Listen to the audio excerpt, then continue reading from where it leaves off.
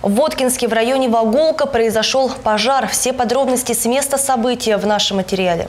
3 октября в 11 часов 27 минут на пульт дежурной диспетчерской службы города Воткинска поступил сигнал о пожаре в районе Волголка. На место происшествия выехали все оперативные службы города. В 11.37 прибыли 4 единицы э, техники согласно э, расписанию выезда по вызову номер один БИС. То есть прибыли в кратчайшие сроки. И с данными силами и средствами удалось локализовать и ликвидировать э, данный пожар в кратчайшие сроки.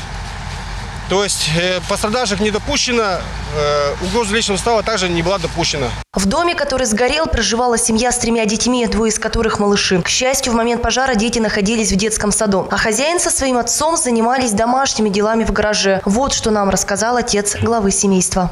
Он отрезал трубу, и искра, видно, попала на фуфайку. Дырка была, видимо, в фуфайке. Что она моментом загорелась.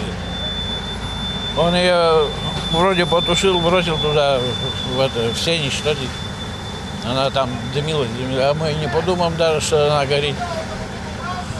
Когда увидели, что огонь в доме, э, пытались потушить?